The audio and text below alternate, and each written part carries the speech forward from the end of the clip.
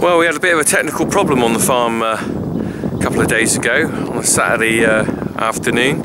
I got a phone call from my dad, well, I think it was Saturday morning, about half past 11 actually. Say um, he'd, he'd, walked up the yard and just saw a load of cows in the yard and thought, what the hell are they doing out? Uh, anyway, he came round the corner and found that um, they managed to knock a wall down and escape from the uh, yard they're in.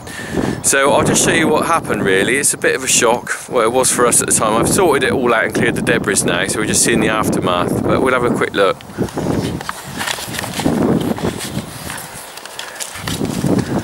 Okay, so um, here's the cows in their yard, and you can see here where there was a wall, a breeze block wall, um, which kept the cows in securely, and uh, that ring feeder over there, which we put maize in, was, was here.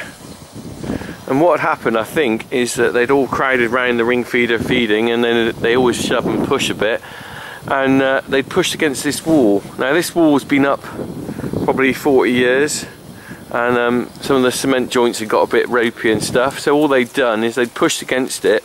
It'd already been cracked a few times. I mean you can see here some of the cracks in it that are here now. Um, the cement just gets a bit old and crumbly and, the whole lot collapsed like that. So it was a massive panic. I um I came back here rushed back managed to clear the debris with a loader bucket and I put this temporary fix in just to tied the gate to the post there um, and then put the put the trailer against it because otherwise they might just push it out. But uh, I won't put the ring feeder back here for now and we've got only well not that long till the cows go back out. So um, I'm just hoping that we can um, leave it like that till the cows are out and then I'll have to have a go at blocking in the summer. I'll just uh, but that just shows the force of a cow not that wall over or few cows. Uh, there's always some sort of disaster you've got to deal with on the farm. It's never a straightforward life um, we'll just walk down and have a quick look at the pile of blocks that came out as well oh well here's the pile of blocks that came off the wall. You see I managed to just dump it all in a pile for now.